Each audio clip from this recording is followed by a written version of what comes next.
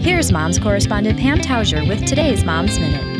Hi, today we're at Outlets at the Dells with Michelle Zilke. We're talking springtime, and you have a really fun brunch coming up. We do, and, and this is one of our charity events that we do throughout the year. And okay. this one, we partner with the SSM Health St. Clare Hospital Women's Auxiliary, and it is a mimosa brunch. Okay. So it's April 27th, and it's a ticketed event, so it's $10 per ticket. You can buy tickets through us at our customer service office or through the St. Clare Auxiliary. Mm-hmm. And you can come and have lots of mimosas. You can have all the mimosas you want.